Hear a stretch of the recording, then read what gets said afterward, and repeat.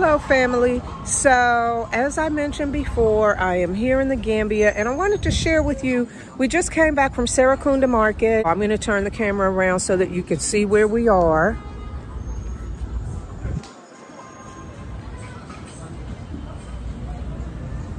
And we are now getting ready to partake of some red snapper that's being prepared for us and some chips, which is french fries and some salads. And um, so this is what we where we're eating. Very nice spot out here, outside, covered, um, place to eat. And um, so once the food comes, I'll show you that and share how great it is. See you soon. Soul. Janine's African Soul. Here in Senegambia. Here in Senegambia, The Gambia. right across the way from Benny's.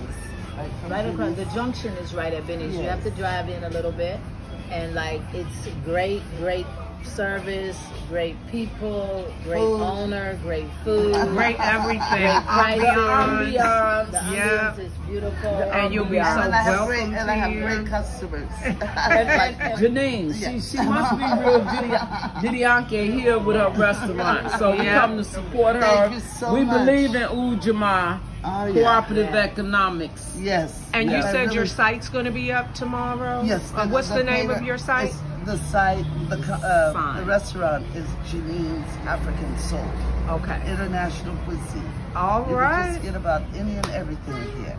Perfect. Yeah, even chop suey if you want. Janine has a very extensive, rich wealth history. Uh-huh. She has traveled so many places in the world, lived so many places in the world. She's an amazing, amazing woman with big stories that can really educate you about global affairs and everything. She's just really wonderful. That's Just a blessing. wonderful. All the So best. everyone is welcome. Mm-hmm. Come have a good time through and and drink come to the fresh palm wine. Yes. Yes. she always says Yes. Which is like before Yeah. Look at this beautiful food.